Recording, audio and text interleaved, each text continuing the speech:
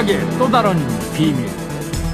여러분은 어떤 성분이 들어있는지 알고 계십니까? 치약에는 어, 세마제와 계면 활성제를 포함하여 결합제, 습제, 향을 내게 하는 향제, 맛을 내게 하는 감미제, 착색제, 방부제, 약제 등 여러 가지 성분이 들어 있습니다. 치약에는 치석을 제거해주고 광택을 주는 세마제와 치약의 고체 성분과 액체 성분을 섞어주는 결합제, 치약의 습기와 질감을 주는 수분제 등이 포함되는데 그리고 치약의 또 다른 성분 합성계면 활성제, SLS라고 불리는 라우릴 황산 나트륨. 많이 들어가죠. 여러분 뭐, 기억하십니까? 샴푸나 세제에 들어가는 합성계면 활성제 SLS. 합성계면 활성제에 들어간 물고기들은 맞아. 시간이 지날수록 점점 더 움직임이 둔해졌고 급기야 숨도 제대로 쉬지 못했는데 게다가 이 계면 활성제가 두피에 남아 있을 경우 탈모의 원인이 될 수 있었습니다. 이에 남아있는 건 당연히 안 바로 이 얘기네요. 합성 계면 활성제를 자신도 모르는 사이에 먹고 있었다는 사실. 여기서 잠깐. 뭐죠? 여러분도 혹시 이런 경험 있지 않으십니까? 있죠. 양치하다가 네. 귤을 먹어요? 끝난 다음에 양치 끝나자마자. 아, 끝난 다음에 아니, 이상하잖아. 맛이 잘 안 느껴져요. 단맛인지 신맛인지. 신맛만 나요. 양치를 하니까 너무 쉬어요 이게. 양치해서 그런가? 양치하고 나서 원래 그러잖아.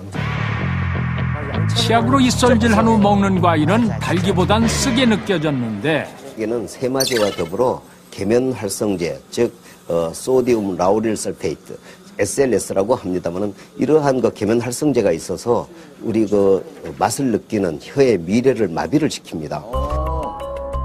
혀에 도포된 계면 활성제는 미래를 변화시키는데 이때 쓴맛을 느끼는 부분은 마비되지 않기 때문에 이솔질 후 쓴맛만 느껴지는 것입니다.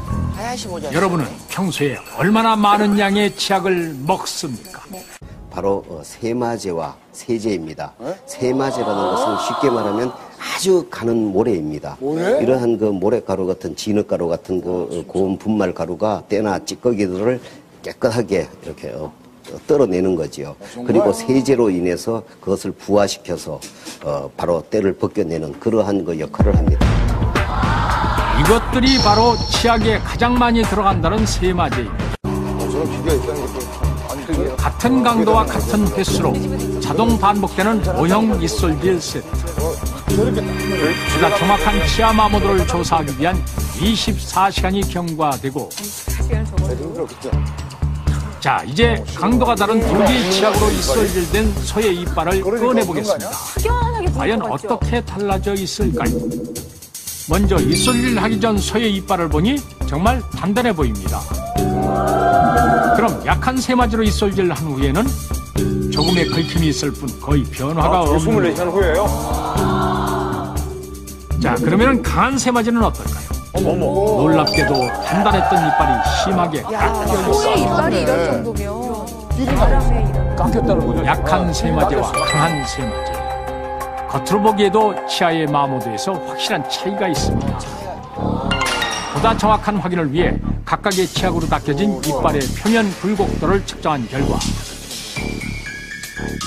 약한 세마제로 닦여져 별 변화가 없는 이빨과는 달리 강한 세마제로 닦여진 이빨은 심하게 마모되어 있었습니다. 차이가 크네요. 세마제의 성분에 따라 치아의 마모도가 달라지는 치아. 이러한 그 세마제의 크기와 모양에 따라서 치아가 오래 사용했을 때는 치아의 그 일부가 손상되기도 합니다. 패이기도 하고 약한 부분은 또 이렇게 어, 어디 흠집이 나기도 합니다.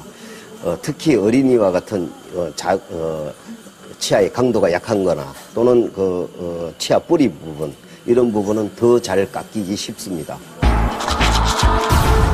여러분 잊지 마십시오. 잘못된 치약의 선택은 당신의 치아를 망가뜨릴 수 있습니다.